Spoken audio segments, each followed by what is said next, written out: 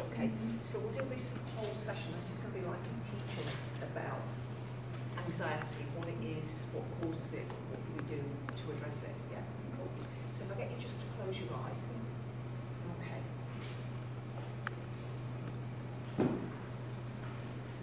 God bless.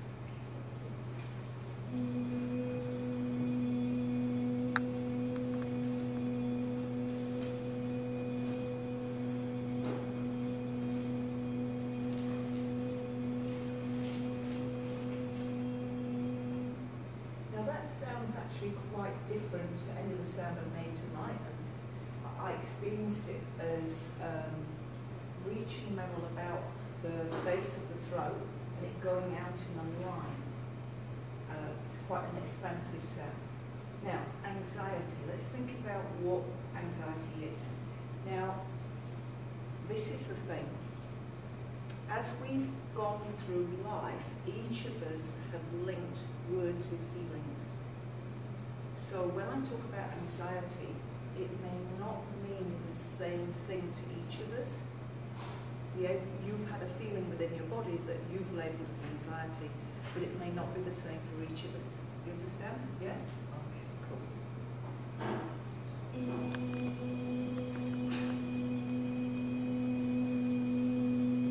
So the first point that the teacher's wanting to make is this. Anxiety is a feeling that you don't like. Is that fair to say? Whatever it is we each experience as anxiety, we don't like that feeling. Yeah?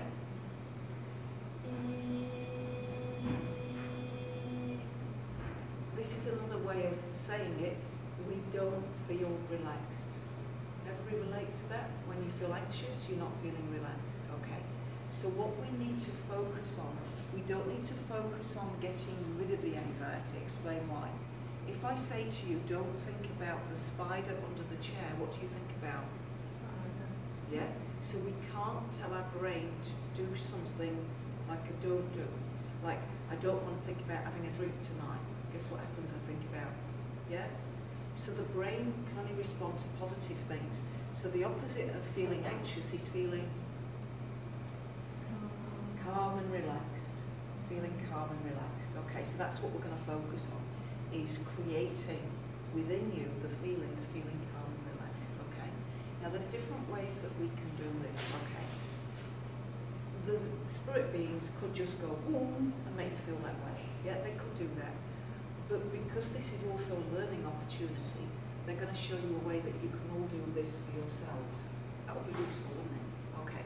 Now the first thing is this, to let yourself, using your memory, think of a time where you felt calm and relaxed. And for me, the immediate image I get is laying on the grass, cool grass underneath my back, looking up at a starry sky and gazing at the vastness of that space, the twinkling stars, and feeling that I'm really, really small and the universe is so big. And being in awe and in wonder, but so in so much awe and so much wonder that I'm no longer in my head. It's very difficult for us to grasp the vastness of space in our heads. You sort of got to just be aware of it. Okay. How does that feel for you, being aware of space? Um, more, more relaxing. More relaxing. Okay, so I'm going to to do that now. It's going to be a little journey I take you on. Just close your eyes and imagine that you're laying on the grass and you're looking up at a midnight blue sky and the stars are twinkling and it's just vast, it's huge. It's like, wow, how vast is that? So as you go into that space, no longer in your head, you're just like, wow. You're just aware of the vastness of the space. Now what I want you to do is, still keeping your eyes closed, let yourselves be aware of the space in the room. Just be aware of the space in the room. And within the space there are things, there are people, there's chairs, and there's the space.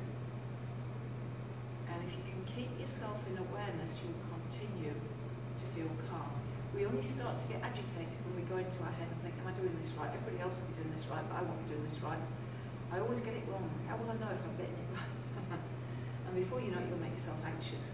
Whereas if you just let yourself be aware of the space in the room, so you can't be in your head when you're aware of the space in the room. You, you're either in awareness or you're in your head, not both. So let yourself be aware of the space in the room. And then when you're ready, I want you to open your eyes, but I want you to see the space in the room. And of course, there's nothing to see. You still see the things. But you'll find your, your eyes are sort of different. They're not going to focus on things. They're sort of going to be looking at the space. And notice how you feel in your head. Aware of space. How's that feeling? More relaxed. More relaxed. Okay. So let's join some dots now. What causes anxiety? There's a couple of things can cause anxiety. One is there's something in our environment that subconsciously we are reacting to. Like if there was a tsunami coming or something like that, pretty unlikely here. I don't think we have them here, do we? But you might be on edge, and you don't know why, on a subconscious level, yeah? Or it's something we're doing consciously. And so nine times out of ten, if we're feeling anxious, I'll just explain. I better explain the difference between your subconscious brain and your conscious, subconscious mind and conscious mind. So my conscious mind will think, oh, what am I going to have to drink at the interval? That's my conscious brain. My subconscious brain might take me off to the toilet. I don't even think I'm going to the toilet. I just realise I need to go and my legs are taking me there. Yeah? Now, your subconscious got programmed between the ages of 0 and 7 by your parents, by caregivers and by teachers at school. And were only conscious, they reckon, about 5% of the time. So you're only in your conscious brain 5% of the time. The rest of the time your subconscious is running the show. And so if the anxiety is on a subconscious level, as much as you imagine yourself looking at stars in the sky, there'll still be a subconscious anxiety. Yeah? That makes sense? Yeah, you'll be able to tell, talk yourself out of it. You've got a good brain. I reckon you know how to talk yourself out of it, so I reckon it's a subconscious. So we know it's a subconscious thing. Right. So now, this makes my life a little bit easier in a way. So, you're only conscious 5% of the time. The rest of the time it's your subconscious programming that's playing. So if you're saying, I live in an abundant universe, uh, but the subconscious program is, oh, I never have any money because I've got to work hard and as money comes in, it's always taken because that is my parents' beliefs about money that were programmed between the ages of zero to seven. Yeah? No matter how much positive thinking, oh, all that is good flows to me.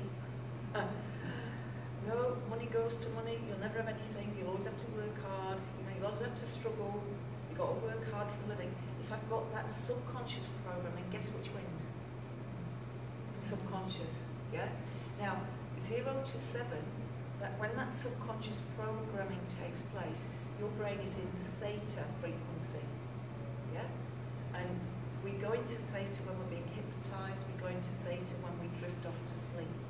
And so the best thing you can much as I'm doing you healing now, is to actually get yourself some theta words about relaxation that play as you go to sleep, saying you're safe, I am safe, I am safe, I am safe, I am safe, I am safe, I am safe, I am perfectly safe, I am safe, I am safe. You can do it consciously to calm yourself, but if you do it while you're going into theta, it fixes it.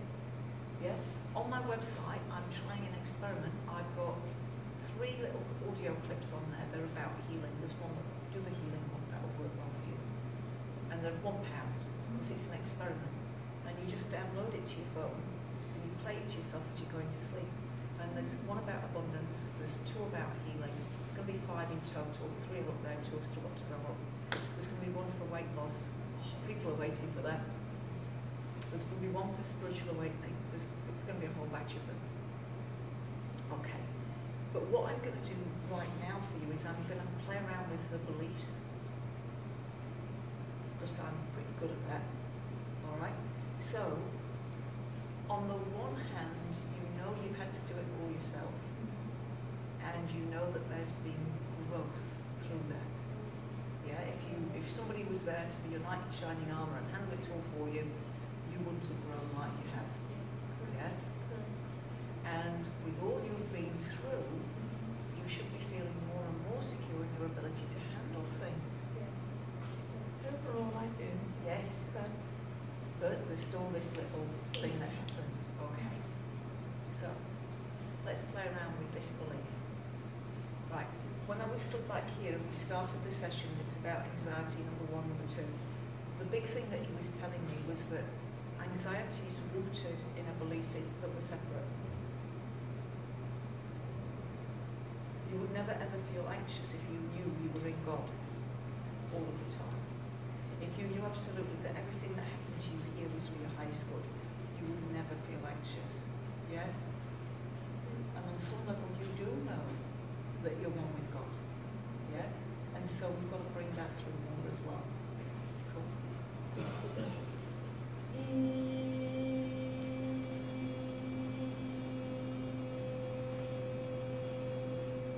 So what's happened so far, I've done a little bit of healing, but mostly I've talked with words explaining what anxiety is and how it can be triggered subconsciously or consciously. Now we're going to work just using energy, just using sound to help you become more peaceful.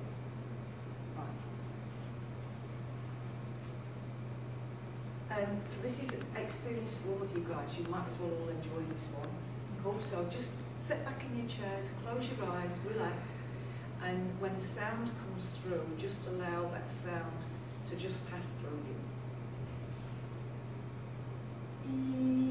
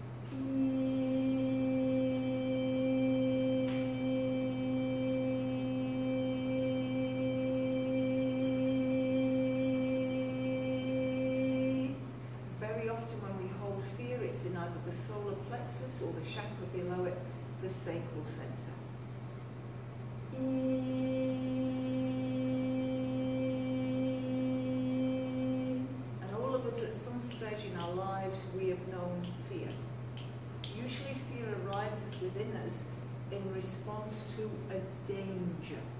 Now that danger may be real or it may be imagined, doesn't matter. Fear still arises within us. And fear often takes the form of adrenaline.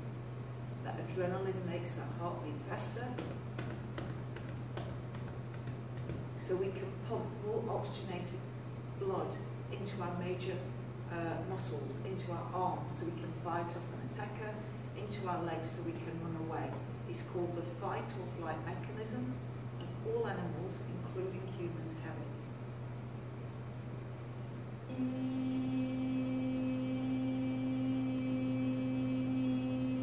So, danger can be real or it can be imagined. Our body's reaction to danger is fear.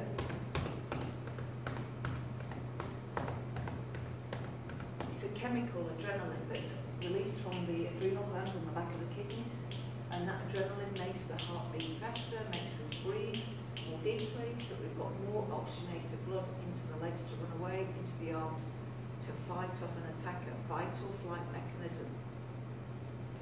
It's in everybody. It's even in the Pope, it's even in the Dalai Lama. Everybody has the fight or flight mechanism. Now, what's supposed to happen is fear is supposed to alert protector. Within each and every one of us, there's, there's a part that's called the protector.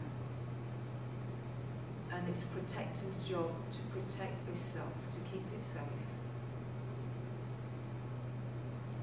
It's protector's job to protect others and to protect property. And so all that needs to happen within us is when there is a danger, real or imagined, adrenaline gets released, and then the protector is alerted. Now the protector can protect the self, or protect others, or protect property. But you as fear, all you can do is make the heart race, make digestion stop, bowels evacuate. So it's fear's job to hand over to protector. But sometimes fear doesn't know that because nobody's ever told him. But it's fear's job to hand over to protector. It's fear's job to alert the protector. Protector will then step in and protect the self, or protect others, or protect property. Or the protector may delegate the task to another part of the self called the controller. Just let yourselves now have a little wiggle in your chairs and find the controller. So that when I say to you, so you are, you say back to me the controller. All right? So you are the controller, and it's your job to control. Control what? Everything, eh? What is it you want to control about the self-controller? Everything. What we eat, what we wear, how much money we earn, who we live with, how we drive the car. How much of the time are you controlling, controller? All of the time. Will you ever stop controlling? No. What's your biggest fear? Losing control, then somebody else will be in charge. So what can happen within the self is that protector can delegate the task to controller. Controller can take control of the self, control of the anxiety, control of others, control of the breathing, control of the pulse rate. Or controller can take control of the situation. But remember, you as fear, you can't do any of that. All you can do as fear is Now, this is the thing, guys. We need fear. Without fear, we might die. Seriously, without fear, I wouldn't know that the water was too deep or the cliff was too high or that I might, you know, hit the car in front if I don't brake fast right now. So we need fear. But we need fear to understand that once it's done its, it needs to either alert the protector to protect the self, protect others or protect property, or it needs, the protector needs to delegate the task to controller. And controller will take control of the self, control of others, or control of the situation. Now we're just going to check in with fear. How does fear feel knowing now that all it's got to do is alert the protector? Mm. I don't feel fear. Ah, I don't feel it. cool. I don't feel it. Yeah. Is that right? Uh, If it's right for you, it can be right for you. I'm not thinking of it. No? I'm very relaxed. Yeah. Very grateful. Awesome.